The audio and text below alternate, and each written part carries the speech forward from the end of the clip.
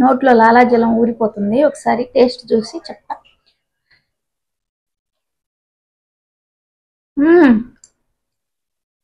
సూపరో సూపరో సూపరో బిహ.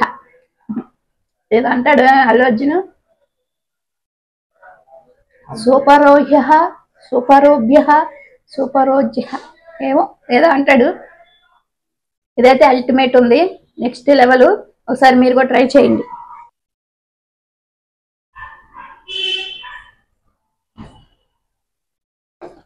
Hi friends అందరు ఎలా ఉన్నారు? బాగున్నారా? ఈరోజు నేను బొప్పాస్కాయతో హల్వా చేశానండి. చాలా బాగా వచ్చింది. ఇది ఎలా చేశాను? ఏంటి అనేది మీరు ఫుల్ వీడియో చూసేయాల్సిందే.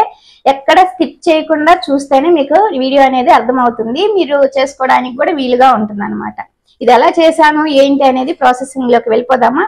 వీడియోలోకి వెళ్ళే ముందు ఫస్ట్ టైం నా ఛానల్ ఎవరైనా చూస్తున్నట్లయితే లైక్ చేయండి షేర్ చేయండి. మరిన్ని అప్డేట్స్ కోసం స్మార్ట్ సుజాత యూట్యూబ్ ఛానల్ని సబ్స్క్రైబ్ చేసుకోండి. పక్కనే బెల్ గంట ఉంటుంది కదా ఆల్ అనే ఆప్షన్ మీరు సెలెక్ట్ చేసుకుంటే నేను పెట్టే ప్రతి వీడియో మీకు నోటిఫికేషన్ రూపంలో వచ్చేస్తుంది మీరు చూసేయచ్చు. అయితే నేను ఇవాళ బొప్పాస్కాయ హల్వా చేశాను కాబట్టి అది ఎలా చేశాను ఏంటి అనేది రండి చూసేద్దాం. ఫస్ట్ మనం బొప్పాస్కాయ తీసుకొని శుభ్రంగా కడుక్కొని పై తొక్క తీసుకోవాలండి. ఇది నేను కొన్న బొప్పాస్కాయ కాదండి. మా సిస్టర్ వాళ్ళ చెట్టుదనమాట. మీరు కొన్న బొప్పాస్కాయతో కూడా చేసుకోవచ్చు ఈ హల్వా అనేది. ఇలా శుభ్రంగా తొక్క తీసేసిన తర్వాత దీన్ని నిలువు కట్ చేసుకొని దీని లోపల సీడ్స్ అనేవి ఉంటాయి ఇత్తనాలు. అవి శుభ్రంగా తీసేసుకోవాలండి. స్పూన్తో ఇలా తీసేసుకొని సన్న ముక్కలుగా కట్ చేసుకోవాలి. ఇదైతే ఈ కాయ చాలా స్వీట్గా ఉందండి. తీపుగా ఉందన్నమాట మీరు హల్వా చేసుకునేటప్పుడు కాయ కొంచెం రుచి చూసి చేసుకుంటే మనం షుగర్ ఎంత వేసుకోవాలి బెల్లం ఎంత వేసుకోవాలి అనేది మనకు ఐడియా వస్తుంది. అట్లా మేము ఒక త్రీ ఫోర్ పీసెస్ చూస్తే చాలా స్వీట్గా ఉందన్నమాట. తర్వాత దీన్ని ఈ ముక్కలన్నీ తురుముకోవాలన్నమాట. తురుముకొని నేను ఇక్కడ ఫిల్టర్ చేసుకున్నానండి. ఎందుకంటే జ్యూసీగా జ్యూసీగా వచ్చిందనమాట అంటే గట్టిగా రాలేదు పేస్ట్ లాగా. అందుకోసమని నేను దీన్ని ఫిల్టర్ చేశాను. ఫిల్టర్ చేసుకుంటే మనకి కొంచెం థిక్నెస్ అనేది థిక్గా వస్తుంది తురుముకున్నది. ఇంత జ్యూస్ జ్యూసీగా ఉంటే మనకి హల్వా చేయడానికి చాలా టైం పడుతుంది అనమాట అంత టైం తీసుకోకుండా మనం ఇక్కడ ఫిల్టర్ చేసేసుకుంటే మనకి ఈ ఇట్లా వస్తుంది అనమాట చూసారు కదా? ఇట్లా వస్తే మనకి హల్వాకి బాగుంటుంది. ఈ జ్యూస్ మేము తాగేసామండి. చాలా స్వీట్గా ఉందన్నమాట. ఇప్పుడు మనం హల్వా ప్రిపేర్ చేసుకుందాం. నేను ఇక్కడ ఇత్తడి బాండీ తీసుకున్నానండి. ఇత్తడి బాండీ తీసుకొని పొయ్యి మీద ఒక నాలుగైదు స్పూన్స్ నెయ్యి వేసుకున్నాను. ఇది వేడెక్కిన తర్వాత ఒక గుప్పెడు జీడిపప్పులు వేయించి తీసుకున్నాను. మీకు గుర్తుందా?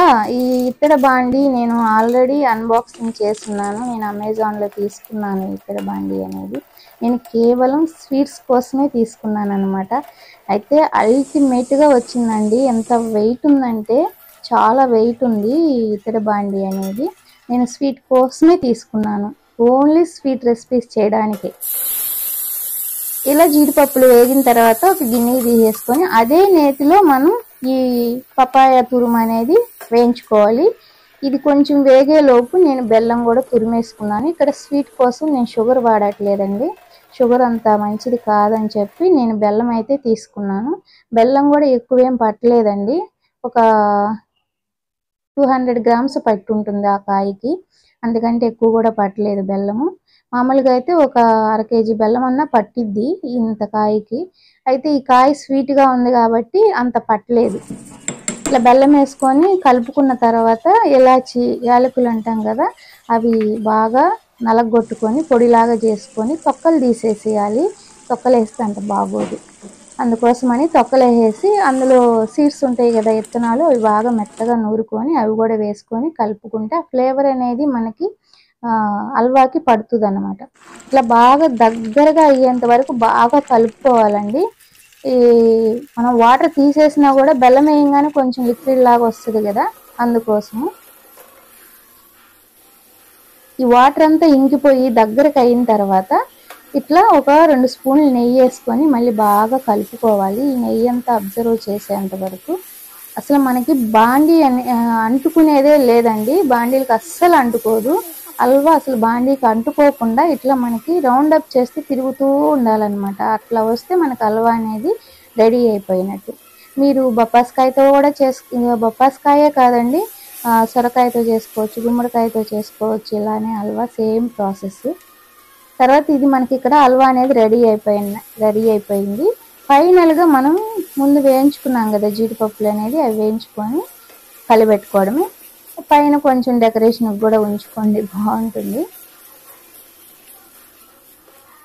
ఇక్కడ రెడీ అయిపోయిందండి హల్వా అనేది.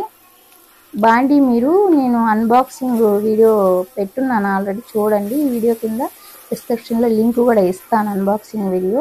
కొన్ని ఐటమ్స్ అనేది నేను అమెజాన్లో చే పెట్టాను అనమాట అందులో ఈ బాండీ అనేది ఒకటి. రివ్యూ అయితే సూపర్గా ఉందండి. అల్టిమేట్ మీరు హ్యాపీగా కొనుక్కోవచ్చు అమెజాన్లో చాలా బాగుంది. స్వీట్స్కి పర్ఫెక్ట్గా ఉంటుంది అనమాట ఇలా కొంచెం కొంచెంగా నెయ్యి వేసుకొని కలుపుకోవడం వల్ల మనకి మంచి టేస్ట్ అనేది వస్తుందండి.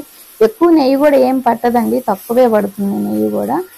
ఫైనల్గా ఇది రెడీ అయిపోయిందండి. ఇది చల్లారిన తర్వాత మనం బౌల్కి తీసుకుంటే బాగుంటుంది.